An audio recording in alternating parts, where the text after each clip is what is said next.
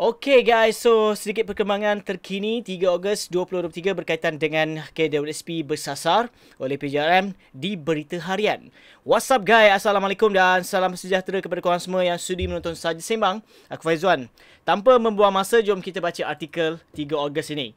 Yang mana PJRM cadang benarkan pengeluaran KWSP bersasar tanpa cagaran bantu rakyat yang susah iaitu PJRM melihat pengeluaran simpanan kumpulan wang simpanan pekerja KWSP bersasar tanpa cagaran adalah penyelesaian jangka panjang bagi membantu rakyat yang masih bergelut untuk kelangsungan hidup. Timbalan Presiden PJRM Muhammad Fazil Ibrahim berkata, ini kerana PJRM banyak menerima aduan dan luahan pencarum di pelbagai platform laman sosial yang mendapati mereka memerlukan pengeluaran KWSP untuk memperbaiki kedudukan kewangan.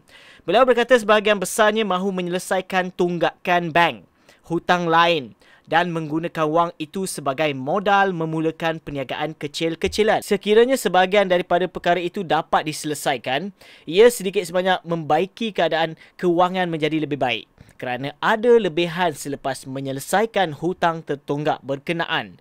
Secara dasarnya PRM berharap pemberian bantuan kepada rakyat seharusnya selaras tanpa mengira penjawat awam maupun swasta.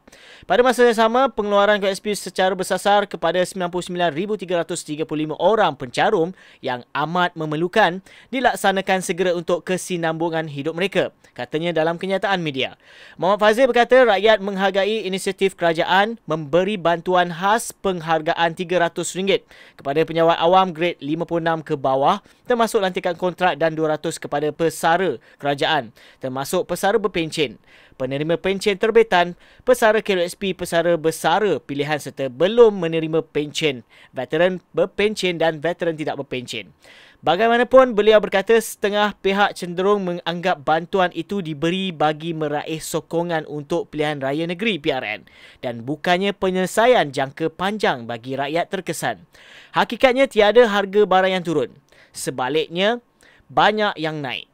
Rakyat juga terus terhimpit dengan kenaikan kadar dasar semalaman OPR katanya.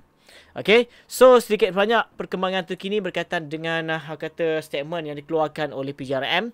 Okay, dan uh, diharap sedikit sebanyak kita jangan uh, berasa uh, give up sebab apa perkara ini still PJRM tetap teruskan.